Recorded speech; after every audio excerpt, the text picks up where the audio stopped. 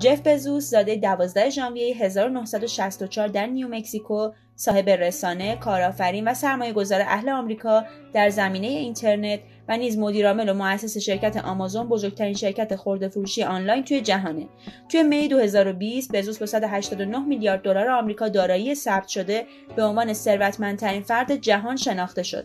اون با بنیانگذاری وبگاه آمازون.com نقش کلیدی در زمینه رشد تجارت الکترونیک ایفا کرد. بزوس در اوت 2013 روزنامه واشنگتن پست رو خریداری کرد. همچنین گفته شده که اون در مسیر تبدیل شدن به ثروتمندترین فرد در تاریخ معاصر جهانه. اون 10 میلیارد دلار از ثروتش رو صرف تغییرات اقلیمی کرد. جف بزوس زمانی که وارد دانشگاه شد به مطالعه فیزیک پرداخت. اما خیلی زود به رشته مورد علاقش یعنی علوم رایانه و مهندسی برق در دانشگاه پرینستون وارد شد برای تماشای ادامه این ویدیو و ویدیوهای بیشتر channel یوتیوب ما رو subscribe کنید و در سال 1986 به عنوان دانشجوی ممتاز از دانشگاه فارغ‌التحصیل شد. توجه جف به رشد بینظیر و جهان‌گستر وب معطوف شد. اون در کمال تعجب دید که رشد استفاده از اینترنت توی سال 1994 نسبت به سال قبلش 23 برابر شده.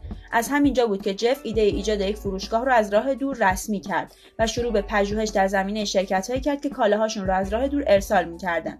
جف فهرستی از 20 تا شرکت برتر در این زمینه تهیه کرد. تقریبا همه کالاهای مورد نظر جف از طریق این شرکت‌ها فروخته می‌شدن، اما هیچ کدومشون به فروش کتاب نمی‌پرداختن و دلیلش هم نبود یک کاتالوگ کامل از عناوین کتاب‌ها بود.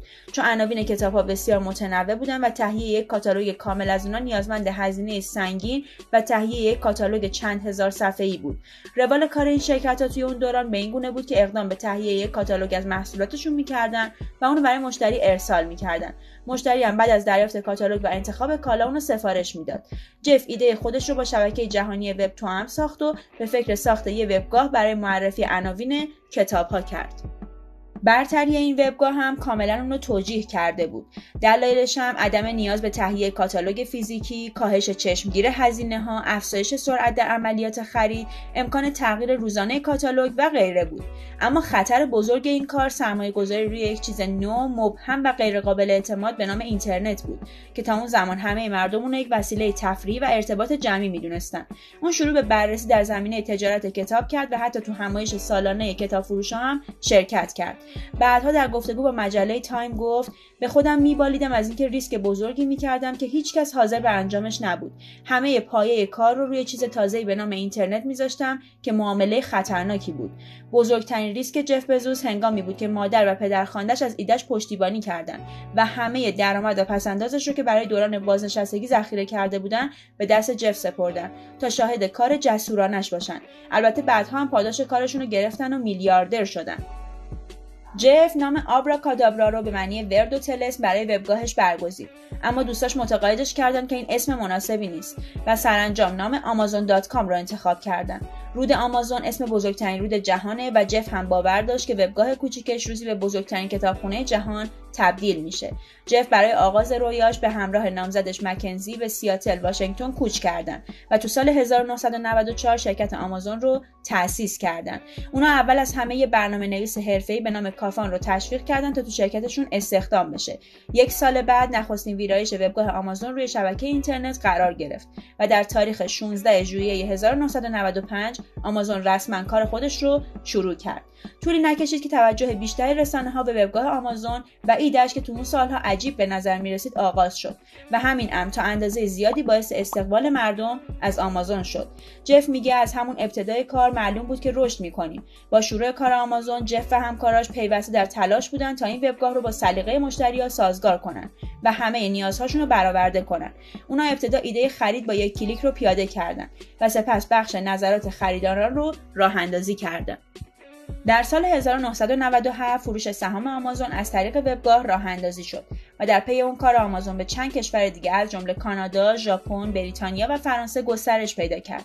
تاکید جف همواره بر روی برآورده ساختن همه نیازها و سلایق مشتریان بود. به این ترتیب فروش کتاب هر روز با استقبال بیشتری روبرو می‌شد. مشتریا کم کم شروع به ارسال ایمیلایی کردند که توی اون درخواست ارائه کالاهای دیگه از جمله لوح فشرده و لوازم خانگی از آمازون بود. جف هم بلافاصله کالاهای بیشتری رو به فروشگاه اضافه کرد و به این ترتیب روز به روز به دامنه کار آمازون افسوده شد. در سال سال 2000 شرکت آمازون مثل بسیاری از شرکت‌های دیگه تحت تاثیر بحران قرار گرفت. توی این بحران ارزش شرکت‌های کوچیک اینترنتی که تو زمان کوتاهی به قولهای اینترنت بدل شده بودن ناگهان سقوط کرد. توی این سال قیمت سهام آمازون افت شدیدی کرد و از 106 دلار در دسامبر 1999 به 41 دلار در سپتامبر 2000 رسید. آمازون به مرز ورشکستگی نزدیک شده بود و 1300 نفر از کارمندان شرکت رو اخراج کرد و کالاهایی که فروش کمی داشتن و سودآورم نبودن رو حذف کرد و شروع به بستن قراردادهایی برای خدمات بهتر به مشتریها و آسانسازی فرستادن کالا کرد. در پی این کارها نه تنها آمازون شکست نخورد بلکه تو سال 2003 درآمد خالص آمازون به 73 میلیون دلار رسید. توی سال 2008 مجله فوربس اعلام کرد درآمد بزوس به 8 میلیارد دلار رسیده و اون در رتبه 110 ثروتمندترین مرد جهان ایستاده.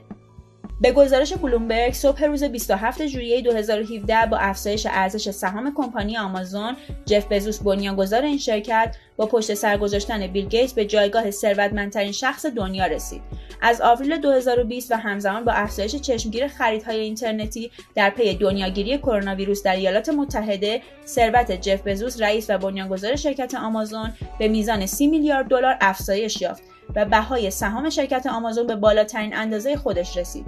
بنابراین بزوس با 162 میلیارد دلار آمریکا دارایی ثبت شده به عنوان ثروتمندترین فرد جهان شناخته شد و ارزش خالص دارایی‌هاش 152.9 میلیارد دلار برآورده شد.